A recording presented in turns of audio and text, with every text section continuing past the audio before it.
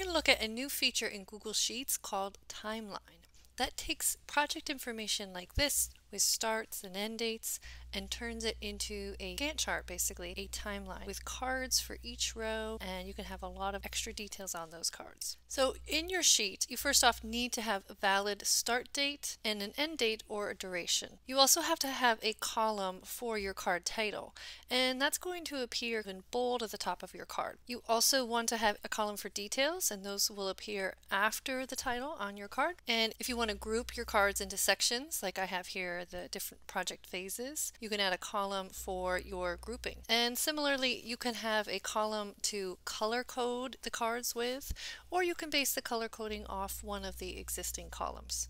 So let's take a look at how I would set this up. The first and most important thing is to make sure your dates are valid dates. The way I like to do this is with data validation. So I'm going to select my two date columns.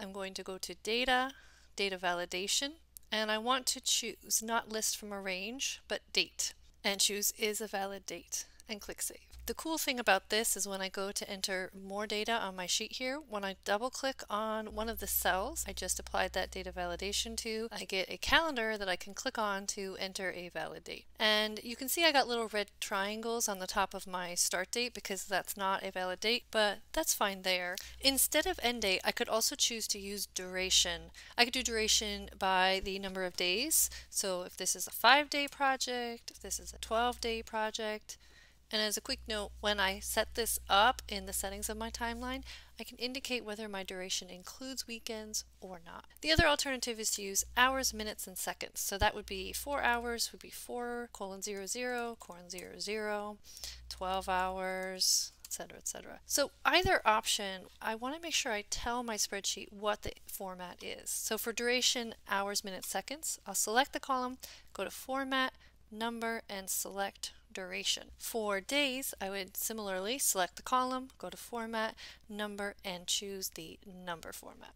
Another thing I like to do whenever I'm going to have a repeated value added many times, for example a status, is I like to add data validation to create a drop-down menu so that I only have certain choices, for example completed, in progress, delayed, and not started, and I know they're always going to be exactly the same with no misspellings. And to do that, I would first set up a new sheet on the bottom. You can click on the plus sign here to add a new sheet, or go to the one I already created. And in one column, I'll add all the values I want to repeat for a specific option. So in here, I have all my statuses. Then I go back to the sheet that I want to choose these from, select the range I want to do. I'll do column F here, and I'm going to go to data, data validation. And this time I do want list from a range, and I'm going to click on this little select data range icon to then choose what I want.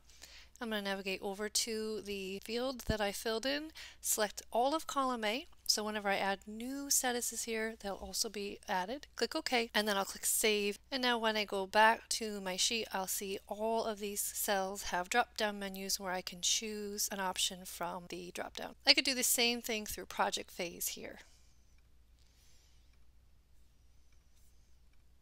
Alright, so now that I've got my data set up, I'm going to go ahead and connect it to a timeline now. So I will select those columns and rows that I want in the timeline, and then I'll choose Insert, Timeline. So it's walking me through that I want to select data and make sure I have at least one column with a date and I have that in the selected range so I'll go ahead and click on OK and it's going to give me the default view of my data here and on the right it'll have settings. If you don't see settings you can click settings up at the top to open up this tool. First off you want to confirm that it got the right information for your start date by clicking the drop down and choosing the column for start date. Same thing for end date and I could switch between choosing end date and the duration here.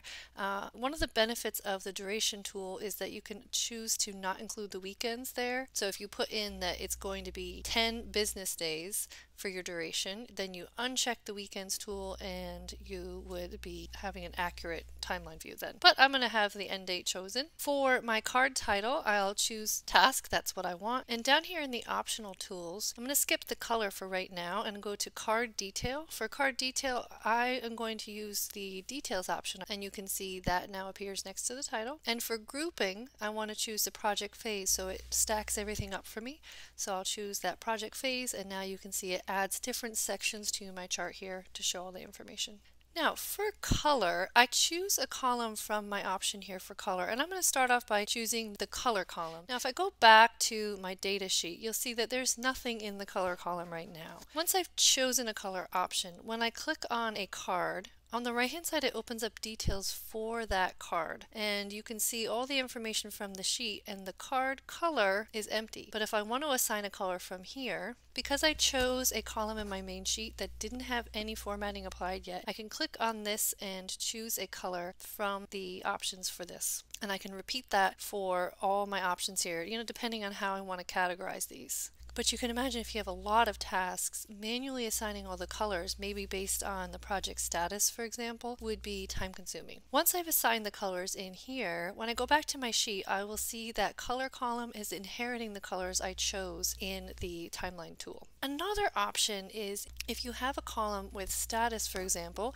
and you want to assign colors based on the status, you can do two things. You can apply conditional formatting to this column so that when it sees completed, it's green. When it sees not started, it's red, etc., etc. And then if you go into your timeline, you go back to settings.